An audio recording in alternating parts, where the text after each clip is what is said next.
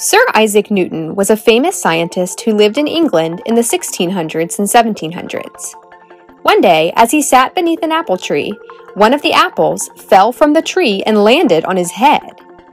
This got Newton thinking why did the apple fall straight down?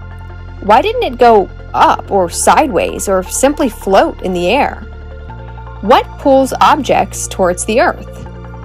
With these thoughts, Newton developed the theory of gravity, which would later become a scientific law. Gravity is a force that all objects have. Objects pulling towards each other is called gravitational pull. All objects with mass have gravitational pull. That means you have gravitational pull too. So why aren't objects attracted to you like they are to the Earth? The larger an object is, the stronger its gravitational pull. The Earth is much larger than you are, so its gravitational pull is stronger.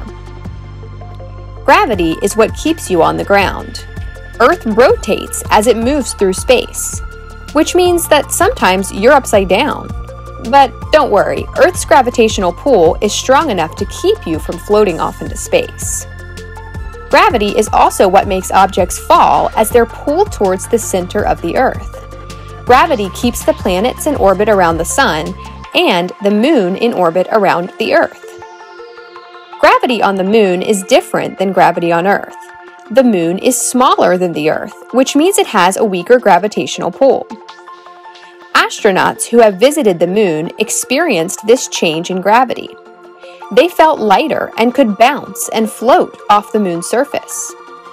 The force pulling them down towards the moon's surface was not as strong as the force here on Earth. The astronauts also weighed less on the moon. Weight is the pull of gravity on the mass in your body. On the moon, you would have the same mass, but not the same weight. If we could travel to a larger planet than Earth, the gravitational pull would be even stronger it would be difficult to even lift your foot off the ground to walk. This video was created by LaFountaine of Knowledge. For lesson materials that go along with the video, be sure to check the link in the video description. And subscribe to my channel for more videos like this.